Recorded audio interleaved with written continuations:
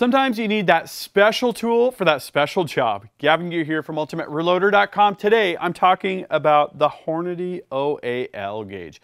Very handy to determine what your bullet seating depth needs to be to be touching the lands, the ogive of the bullet, to be 10 off, 20 off, 30 thousandths off, whatever distance you want to be in relation to where that bullet is going to start engaging the rifling. The way it works is there's a modified case, there's the bullet that you're going to be loading and the gauge itself. This forms the assembly.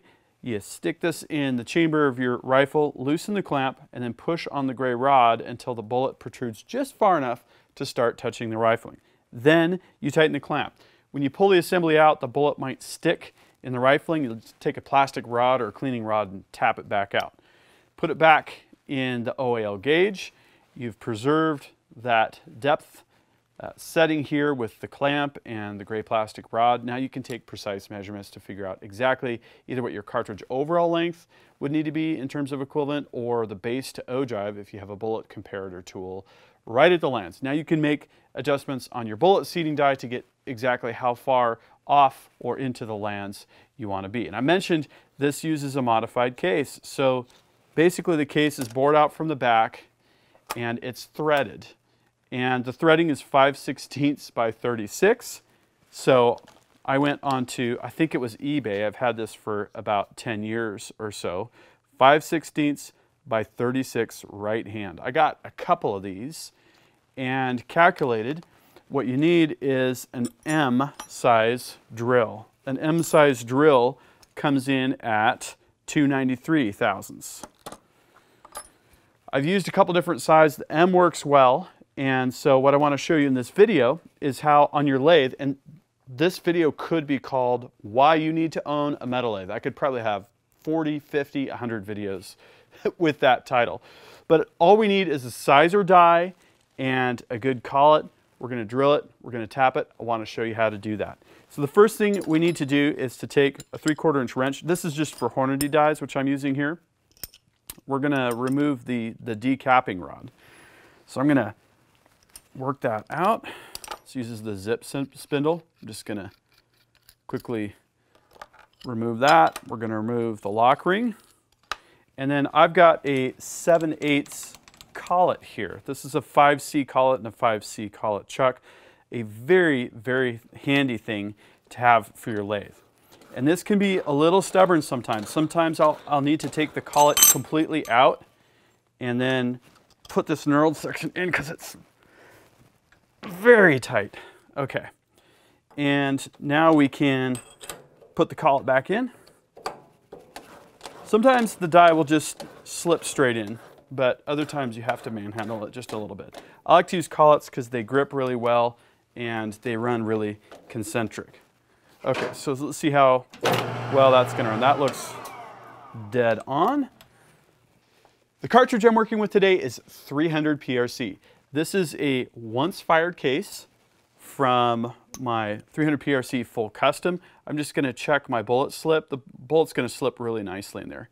So that'll, that'll work well. I'm just gonna insert that into the sizer, give it a good push. Okay, so I'm gonna start with a smaller drill bit here just to kind of drill out the primer and get things started to make sure that uh, we're looking good. Okay, Bring that up close in. Start the spindle and just gently drill out that primer.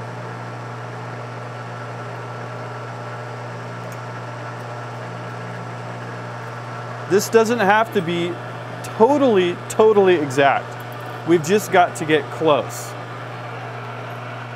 So if I needed to get exact, I would use a boring bar here, but I've had really good luck with just drilling these out. Here's our M drill.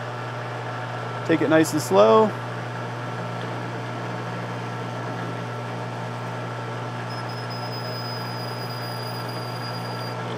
Okay. All the way through.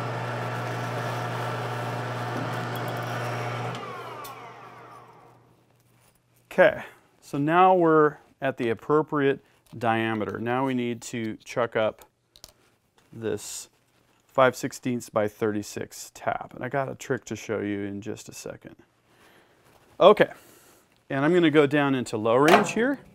That should do just fine. We'll get a little bit of oil here so that we can uh, lubricate things just a little bit. Okay. Now I'm going to leave the tailstock kind of free floating and just gently push it in.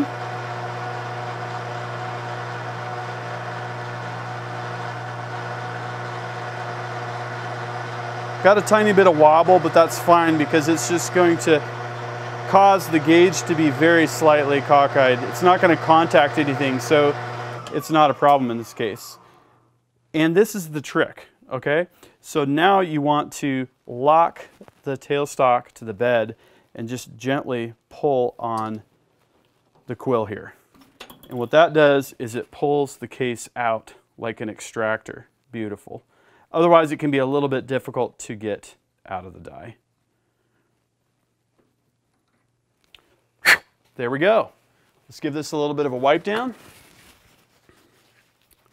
and see how that's going to thread onto our gauge. Okay. So there it is, our 300 PRC modified case. This has been fire formed in my rifle. This is going to line up perfectly. I'm going to get that to-lands distance dialed in, which is great because I'm working on load development for the full custom 300 PRC right now.